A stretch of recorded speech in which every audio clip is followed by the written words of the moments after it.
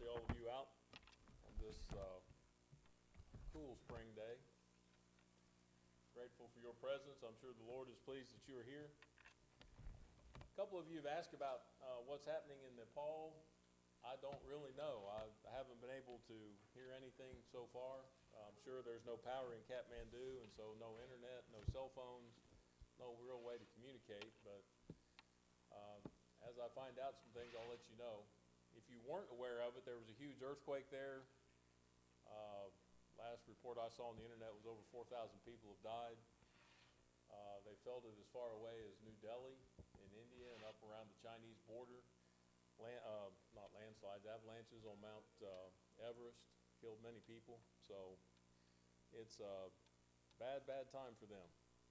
They don't have a lot of infrastructure to start with, so they're going to need a lot of prayers and probably some help of other kinds in the near future. So keep them in your prayers at this point. A lot of Christians in that country, in the city and in the countryside. So uh, remember them, and we'll see what we can find out about as far as far as how they are doing. So tragic situation. And then I read just before coming to church that they had an aftershock that was 6.7, which is stronger than a lot of earthquakes. They are definitely suffering right now. The parable of the pounds, at least that's what the King James calls it.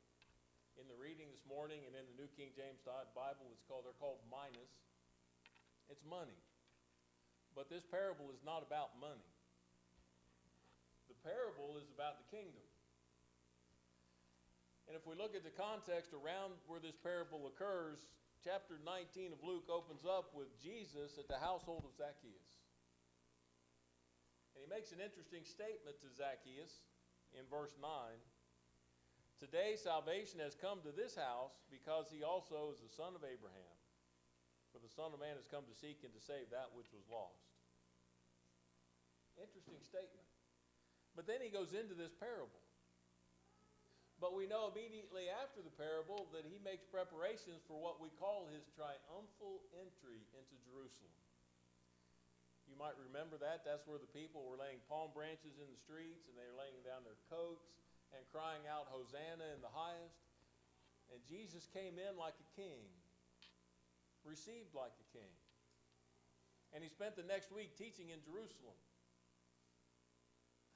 Then those same people that cried out, Hosanna in the highest, a week later, as he stood before Pilate and was presented by Pilate trying to get the people to ask for his release, cried out, Crucify him, crucify him.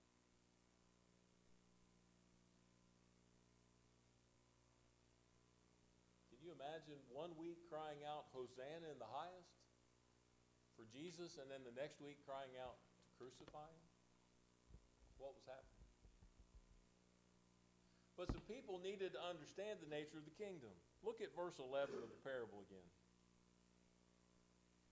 Now, as they heard these things, the things in Zacchaeus' household, he spoke another parable because he was near Jerusalem and because they thought the kingdom of God would appear immediately.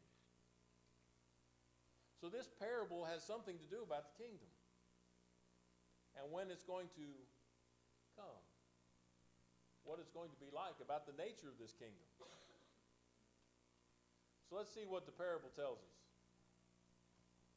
First of all, when he talks about salvation and the fact that they thought the kingdom was coming immediately, they probably equated that with the idea of the defeat of Rome. You see, the Jews thought that the kingdom was going to be the reestablished kingdom of David and Solomon.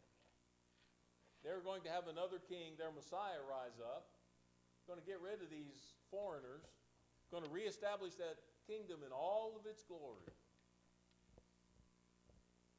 which might help explain why he received the reception he did as he went into Jerusalem a week before the crucifixion. They thought, finally, he's going down to Jerusalem and he's going to take care of things. He's going to establish this kingdom. They needed to understand what actually was going to happen when he got to Jerusalem. He's going to die. He's going to have to go away. You see, in the parable in verse 12, he talks about going into a far country to receive the kingdom. Now, the Jews were familiar with this concept. Herod the Great, the one who was on the throne when Jesus was born, and then his son Antipater, the one who was on the throne when Mary, Joseph, and Jesus returned from Egypt, had both had to go to another country to receive their kingdom. They had to go to Rome. And if you ever want to read about the work of a politician, you need to read the life of Herod the Great. You see, there was a civil war in Rome. Herod backed the wrong side, and then when his side lost, he went to Rome and not only was able to make peace, but make it, get himself appointed king over Palestine. It's amazing. Usually, when you back the losing side, it's not a good sign for your future. Yet he was able to bring himself to the position of king by going into that far country. Jesus is going to have to go into a far country too. Only that far country is going to be heaven. You go back and read the seventh chapter of Daniel, he depicts what happens in verses 13 and 14.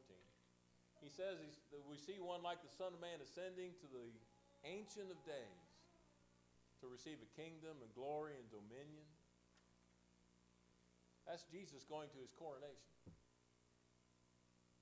But he had to leave this earth to do it. He had to ascend to the Ancient of Days. You might recall the apostles one in Acts, the first chapter. As Jesus was about to ascend into heaven, they're still asking about this kingdom.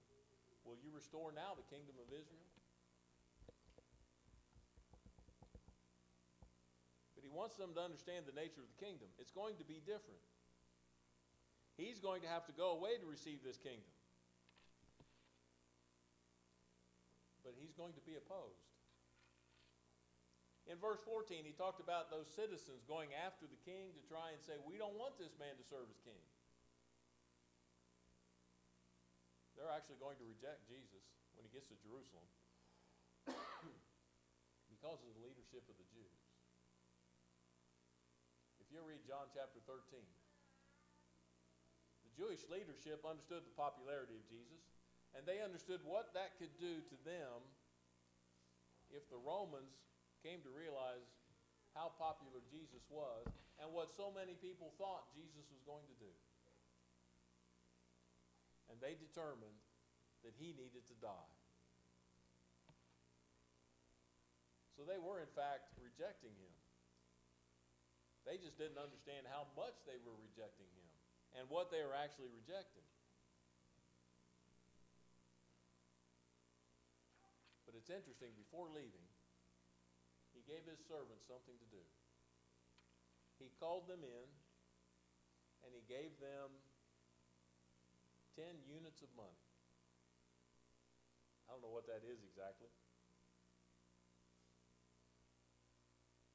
Can't tell you if it was dollars or euros or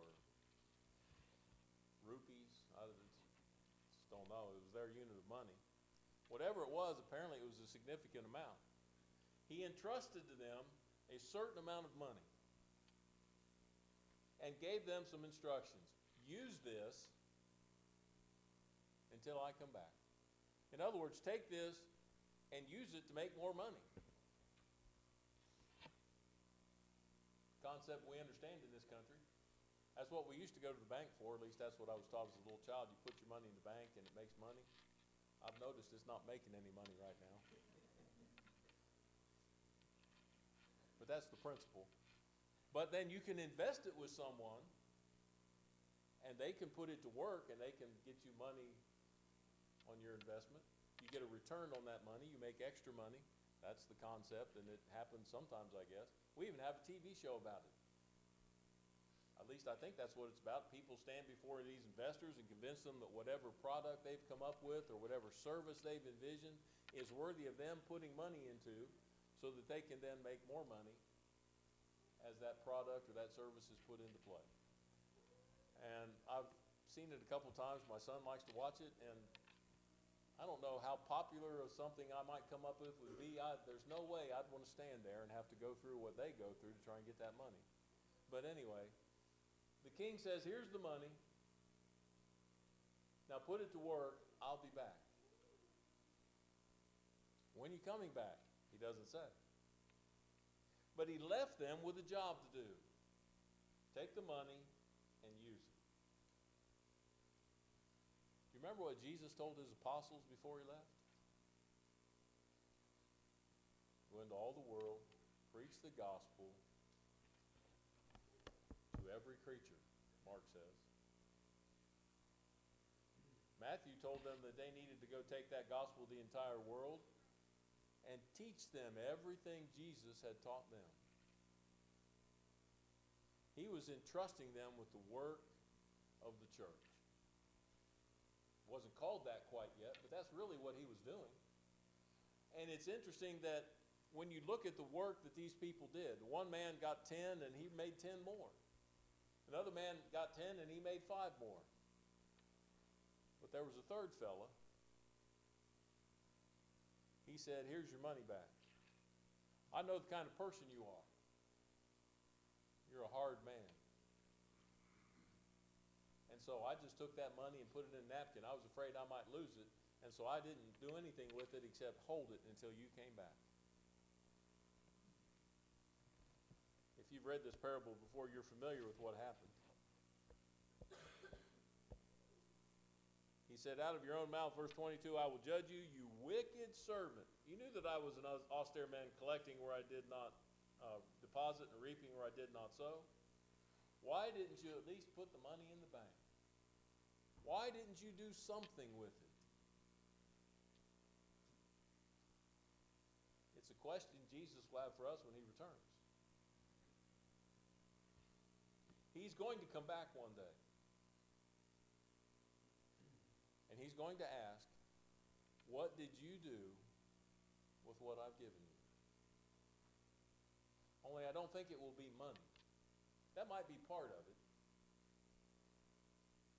But he's going to want to know what did you do with the things I've given you, the talents or the abilities that you have? What did you do to promote the spread of the gospel? What did you do to help the church? What did you do that I might be glorified and honored in this world?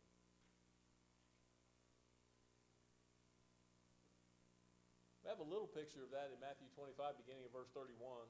We've looked at that in the past. That's where Jesus calls all of his people in and he starts separating them. By the way, those people in Matthew 25, I think, are the church. It's not the world, it's the church. And he separates them like a shepherd divides the sheep to the right hand and the goats to the left. And he says to the one group, I was hungry and you fed me, naked you clothed me, in prison you visited me. And to the other group, he says, I was those things and you didn't do anything. It's going to be a reckoning, a day of judgment. In the parable, he comes back, and in verse 27, calls for his enemies, those who would not allow him or would not submit to him, to be slain. Jesus is going to come back. When he does, he's going to talk to the church, Matthew chapter 25, but he's also going to talk to all those folks who denied him, all those folks who refused to submit to him, all those folks who said that he didn't really exist If you have a Bible, turn over to 2 Thessalonians chapter 1. Begin reading in verse 4. I'm sorry, verse 5. We're in the middle of the sentence here, but basically the Thessalonians have been suffering. They're being persecuted. They're going through tribulation. But in verse 5, he says, Which is manifest evidence of the righteous judgment of God, that you may be counted worthy of the kingdom of God, for which you also suffered. Since it is a righteous thing with God to repay with tribulation those who trouble you, and to give you who are troubled rest with us when the Lord Jesus is revealed from heaven with his mighty angels, in flaming fire, taking vengeance on those who do not know God, and on those who do not obey the gospel of our Lord Jesus Christ. They shall be punished with everlasting destruction from the presence of the Lord and the glory of his power. Notice there's two groups of people discussed those that don't know him and those that don't obey the gospel. They're going to be punished with everlasting destruction from his presence. Eternal destruction. Not permitted to be before him. So we're sometimes asked, why does God allow certain things to happen in this world? I don't know. I'm sure the people of the first and second and third centuries wondered the same thing. But know this the day will come when they will receive their just reward. He's coming, Paul said, in flaming fire, taking vengeance. Now, Paul told the Romans, God said, Don't take vengeance. Vengeance is mine, says the Lord. I will repay. You need to let the Lord take care of settling accounts, taking vengeance on people. That's his job. And trust me, he will do far better than we could ever imagine to do. But I don't really want to see anybody receive that vengeance. Think about it. Eternally punished away from the presence of God. I don't know anybody I'd like to see that happen only way they can avoid it is to know God and to obey the gospel. And so we need to be busy with this work that He has given us, taking this precious commodity, the gospel message, salvation through Christ, talking to people about what He did for us that we just commemorated at the table, and letting them know who He is, why He did it, what they can receive, but also what God's going to expect of them. There are a lot of people try to serve God on their terms. Not going to work. We have to serve him on his terms. He's the one who's God. He's the one to make that determination, not me.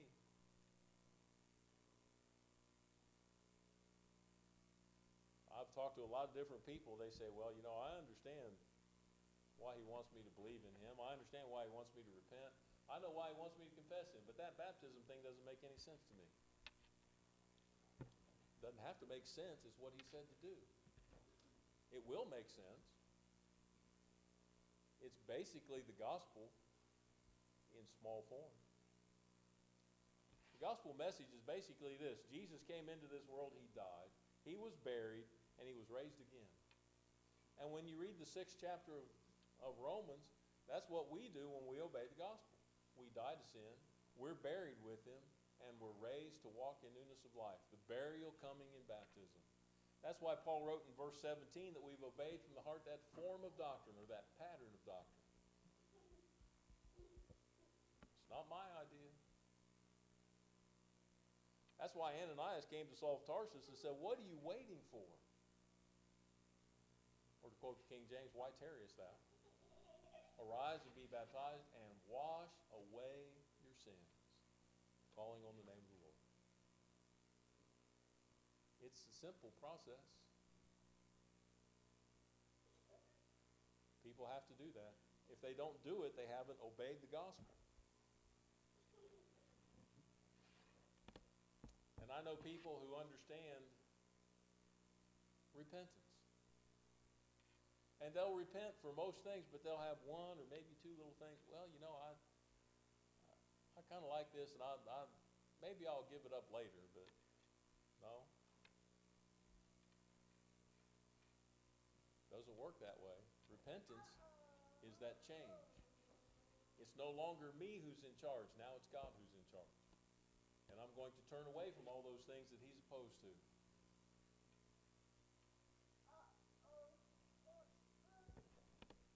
Going to make a list for people. The list would be too big.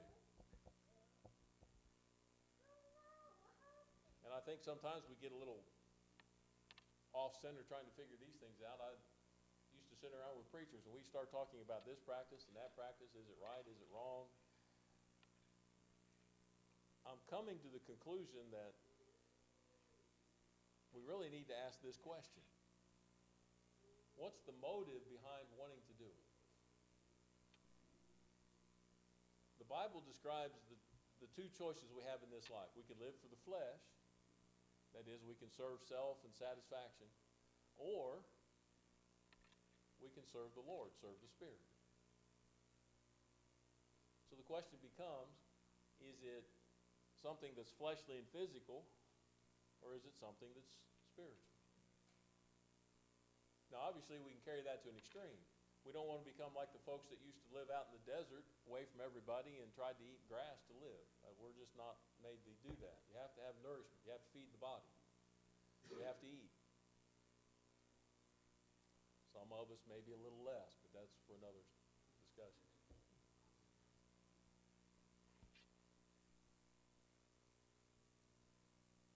In marriage is the place God said certain physical desires need to be fulfilled. It's fine within marriage. It's when it's outside of marriage that it becomes a problem. Outside of marriage, it becomes fleshly. Inside of marriage, it's part of God's spiritual plan for mankind. It's a wholesome, healthy thing. It's a good thing. It's what God intended. It's not an abuse of it at that point, so it's not fleshly. It's spiritual. So we really need to ask ourselves a question when it comes to some of these things that we're so tempted to do is what's the motive? Why do I want to do it? And what's the outcome going to be? Is it going to take me further away from God or will it allow me to draw closer to God?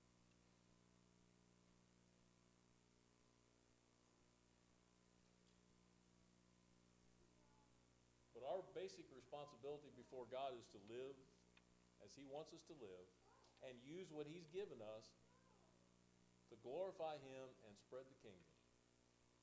To try and teach others about God, to show them who He is. And to show them, I think, that a lot of the characterizations people make of God today and Christians are false.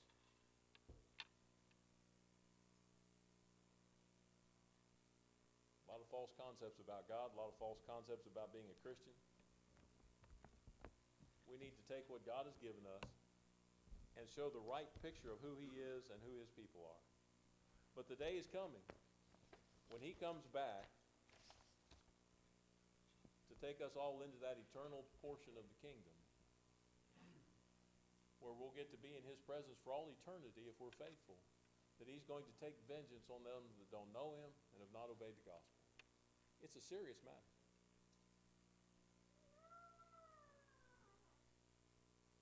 We don't like to see people suffer. That's why I think when something like this earthquake that occurred in Nepal, when we finally get the opportunity to help, people are going to just, many people are going to go there physically, other people are going to help financially because we don't want to see people suffer. Same thing when there was the earthquake in Haiti.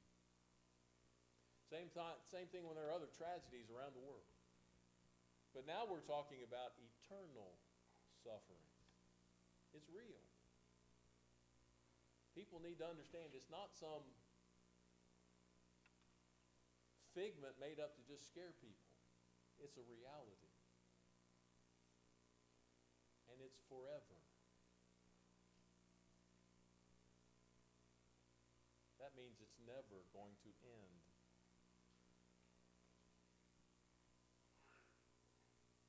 Don't even like to think about it.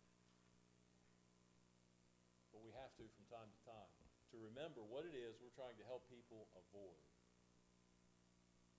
That's why we exist. People used to say, God has no hands but our hands and no feet but our feet. He's given us a job to do. He's going to let us do it or not do it. but we need to make certain that we're doing it. He will call us into account one day. He's going to say, I gave you. What'd you do with it? Are you going to say, well, I knew the kind of person you were, and I didn't want to make any mistakes, so I just put it in a napkin and hid it, didn't use it? Or are you going to say, here's what I've done, and here's what the results are? So I guess the question I want to ask, I want to close with, is simply this.